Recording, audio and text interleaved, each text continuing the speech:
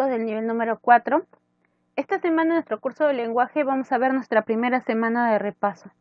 Un poco recordando lo que hicimos las primeras semanas sobre el tema de origen del castellano, la evolución del castellano y cómo eh, algunas lenguas influenciaron en el castellano. Muy bien. Ejercicios de aplicación. Primero tenemos preguntas libres. Yo voy a resolver los números impares y ustedes van a resolver los números pares.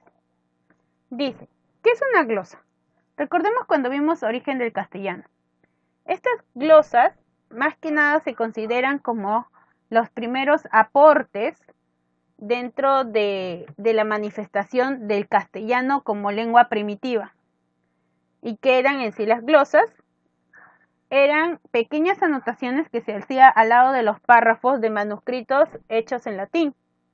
Principalmente se van a dar en los monasterios, eh, donde van a salir las glosas silenses y milanenses, en las cuales eh, los curas que revisaban los diferentes manuscritos encontraban, pues obviamente escritos en latín, y, pero ya en ese tiempo, en el siglo X, lo que se estaba tratando de hacer es la, la construcción de esta lengua romance que es el castellano. Entonces lo que hacían era como traducir o escribir, mejor dicho, en castellano primitivo lo que ellos entendían de cada uno de los párrafos. ¿Cuántos tipos de latín trajeron los romanos? Explica brevemente. Los romanos situaron dos tipos de latín, el latín culto y el latín vulgar. El latín culto era obviamente hablado por la iglesia y la gente de la aristocracia. Luego de la caída de Roma, el latín culto va a ser la lengua oficial prácticamente de la iglesia católica. El latín vulgar era hablado por el pueblo y por los soldados y los extranjeros. Y luego de la caída de Roma, con el choque de estos bárbaros, de, estos, países, de estos lugares, países bárbaros, ¿no es cierto?, que hicieron caer a Roma, pues eh, van a dar el nacimiento a las famosas lenguas romances. Nos dice, ¿cuántos años duró la permanencia de los árabes en la península ibérica? Va a durar ocho siglos.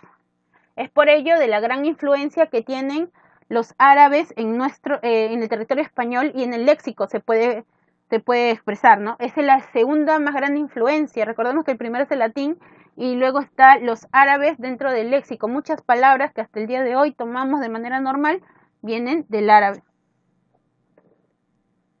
La número 2 dice, coloque verdadero o falso en los siguientes enunciados. Yo voy a resolver los números impares y ustedes los números pares. Dice la número uno. Los vascos se situaron a orillas del río Ebro. Falso, fueron los íberos. Los íberos fueron el pueblo más culto verdadero. Son los que sobresalieron eh, con todos los demás, bueno, sobre todos los demás pueblos, y se mantuvo gracias a la unión que tuvo con los celtas, ¿no? Que dieron luego al pueblo de los celtíberos.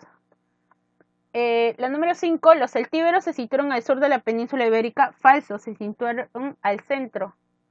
Los fenicios se instalaron en Cádiz y Málaga, verdadero. Es más, ellos fundaron estas ciudades. Las guerras púnicas se dieron entre romanos y cartaginenses, verdadero. Estos pueblos eran muy rivales por, eh, por el mar, porque los fenicios eran marítimos. Entonces ellos comerciaban eh, y tenían grandes navegaciones. Los romanos también querían hacer lo mismo, pero los fenicios tenían casi todo el poder eh, de este, de este mercado eh, navegante prácticamente. Dice la 11, los fenicios eran un pueblo netamente minero falso, como les estaba diciendo, era más que nada marítimo, se llevaban del comercio marítimo. Los visigodos son de origen germánico verdadero, es decir, de Alemania, luego se va a formar, ¿no? Alférez y algarrobo son vocablos de origen visigodo falso, son de origen árabe. Muy bien, dice, complete la línea de tiempo sobre el español. Yo voy a hacer lo que sucedió en España, la evolución en España, y ustedes van a hacer, y prácticamente van a estar investigando, qué sucedió en el mundo durante esos siglos. Muy bien, en el siglo X en España, pues, se dan las primeras manifestaciones de este castellano primitivo a través de las glosas silenses y milanenses, lo que estábamos señalando al inicio.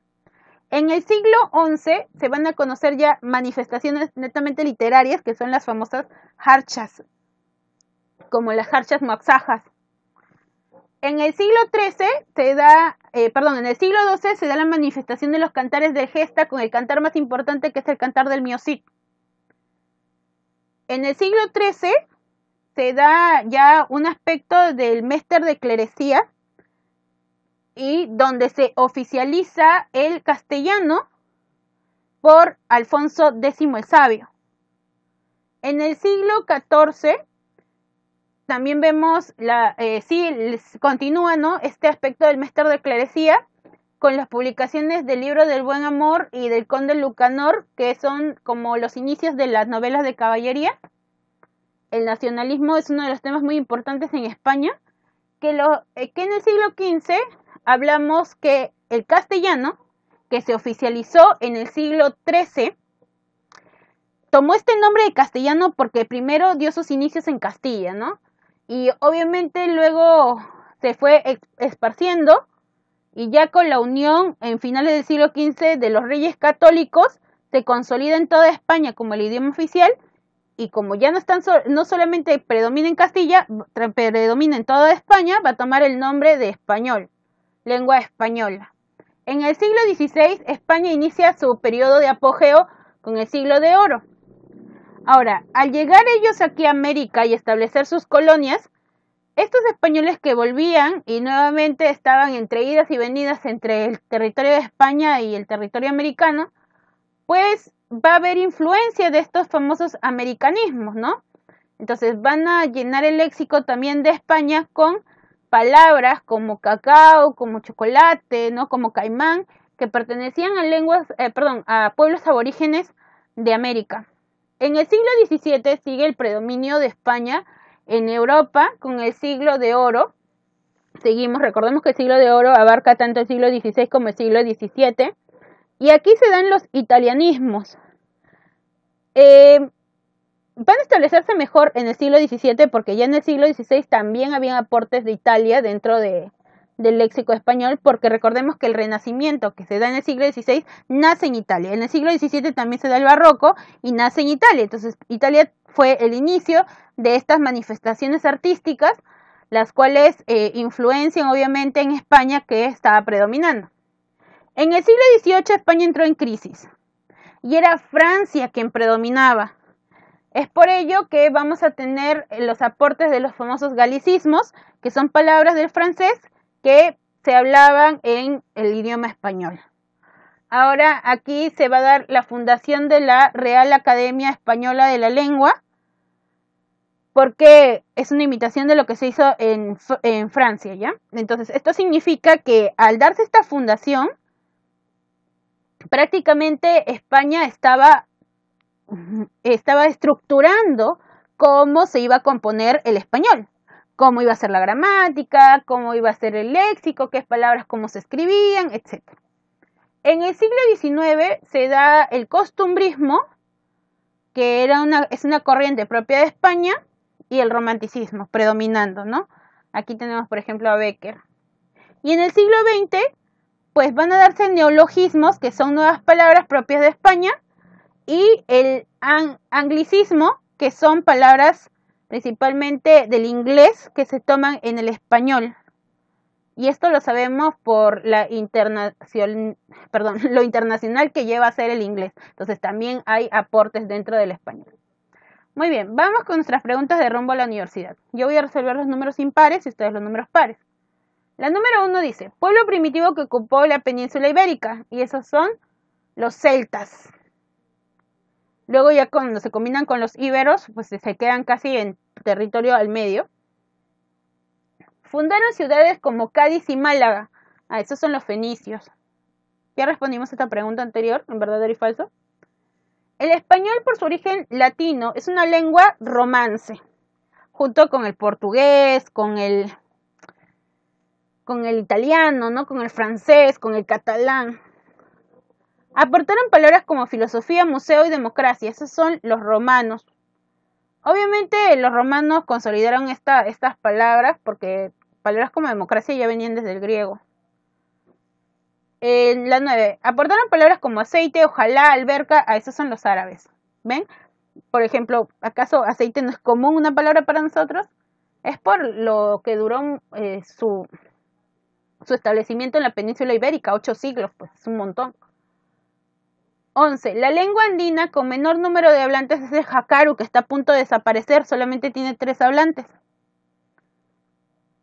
El quechua y el inglés se encuentran que el quechua para nosotros y con nuestra constitución lo que dice es establecido como una lengua y el inglés obviamente es la lengua oficial de Estados Unidos, lengua frente a lengua. ¿Cuál de las siguientes afirmaciones concuerda con la realidad lingüística del Perú?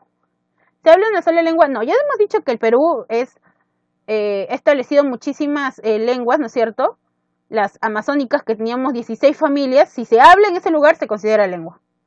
¿Se hablan solo lenguas amazónicas? No, andinas y las costeñas, ¿no?